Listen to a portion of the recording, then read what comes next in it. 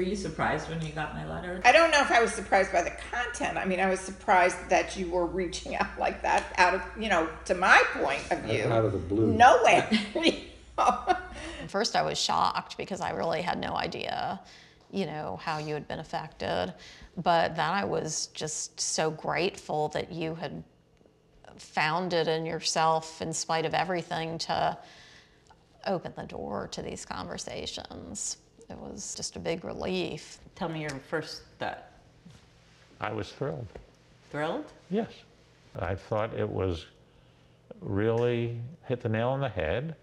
This is something that had to be explored and that you were doing it. I also felt that the work you were doing with the uh, suicide organization was good. You had found something outside of work as a purpose, place you could make an impact.